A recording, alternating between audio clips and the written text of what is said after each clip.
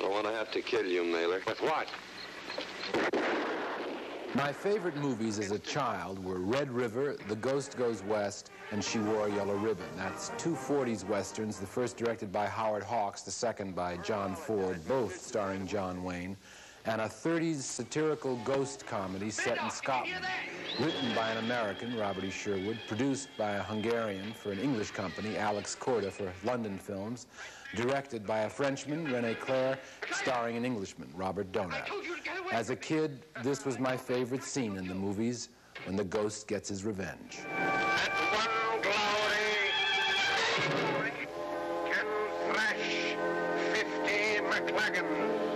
can thrash 50 MacLaggans. Can thrash 50 McCracken. Now, touch the floor with your nose. By the time I was 10, I'd seen each of those pictures numerous times, but never was really aware of who directed them, nor even that such a person was necessary. Well, today, close to 40 years later, there's still movies I'm fond of, but could I call them favorites now? Well, actually, these days I don't have favorite movies so much as favorite directors, picture makers in whose company I really enjoy being. If they're joined by stars I especially like, well, it's all to the better. Anyway, not everything changes. Ford and Hawks are still among my favorites, and so is another Frenchman, Jean Renoir. The westerns have changed, if not the directors and not the star. John Wayne is in both of these too. My favorite Hawks Wayne picture these days is Rio Bravo, released in 1959. My favorite Ford Wayne western is The Searchers, released in 1956. We'll find him in the end, I promise you. Find him.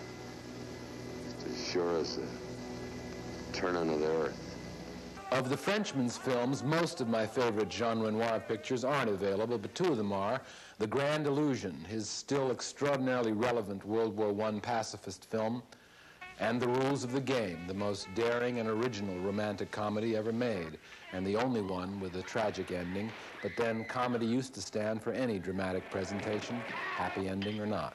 Bah, comment, comment euh, En auto, quoi. Il a voulu se foutre avec sa bagnole contre un arbre. Now, of course, Ford and Hawks didn't just direct westerns any more than Renoir only did black and white movies in French. But his English language color films aren't available yet, and neither is Ford's How Green Was My Valley, one of my particular favorites, and neither is Hawks's Bringing Up Baby, high among my favorite comedies. But another favorite Hawks comedy, His Girl Friday, with the same star, Cary Grant, is available, if not the best print. And so is one of my favorite Ford comedies, The Quiet Man, starring John Wayne, Maureen O'Hara, and Ireland.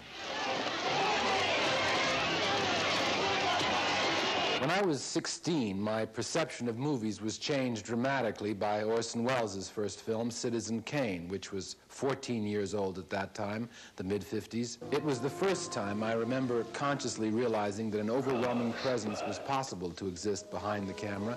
And, of course, Welles quickly became a favorite presence for me, from Kane through his dark 50s thriller, Touch of Evil, co-starring Charlton Heston and Janet Leigh now available in the uncut version Welles did not live to see released. Bronco, sober. What else is there to think about? Except my job. Which Welles picture is favored is hard to narrow down, and he only made about 15 films. How much tougher with a director like Ford, who did 140? But here's a few other picture makers I admire, whose company I really enjoy, about whom you've already heard from me and will probably hear a little more.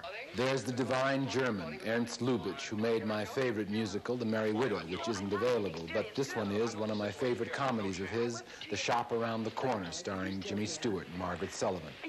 Another Jimmy Stewart picture, Rear Window, can represent all the many ones I'm fond of, directed by Alfred Hitchcock. And there's still Preston Sturges to mention, the extraordinary comedy writer-director represented here by The Lady Eve, starring Henry Fonda and Barbara Stanwyck. And I still haven't mentioned Buster Keaton, Charlie Chaplin, D.W. Griffith, Josef von Sternberg, George Cukor, or several others, or this, among my favorite comedies, Leo McCarey's The Awful Truth, starring Cary Grant, Irene Dunne, and Ralph Bellamy released 51 years ago and fresher than ever.